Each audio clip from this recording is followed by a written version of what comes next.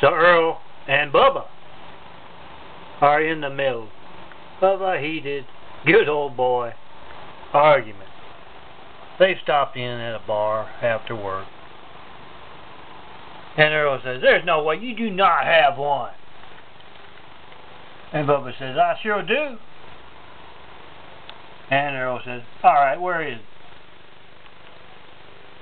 Bubba's so mad, he gets up, he goes out to his pickup truck. One of those extended cabs. Doesn't really need that much room. He goes back behind the seat and gets uh, Omar out. Takes him in, slams him down on the bar, says, See, I told you I'd had terrorist torso.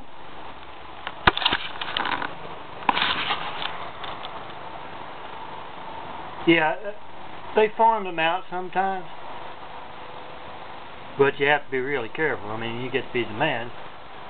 Bubba had them making uh, consequence videos there at work and witnessing, but if he messes up and, uh, you know, loses Omar or something like that, he has to take his place. It's January 11th, 2011. What a funny little street justice video.